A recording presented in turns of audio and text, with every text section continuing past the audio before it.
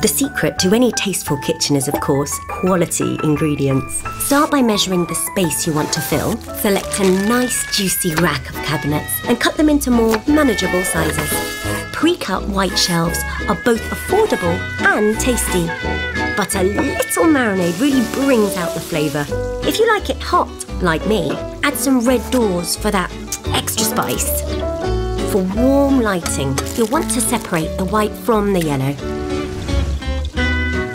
Bit of seasoning, mmm, holds all the flavours together. And voila! Garnish with tea towels and remember to wash your hands before serving. Now, try your own recipe with our new customizable METOD kitchens. You'll find all the ingredients in the 2016 IKEA catalogue, or as I like to call it, the IKEA cookbook.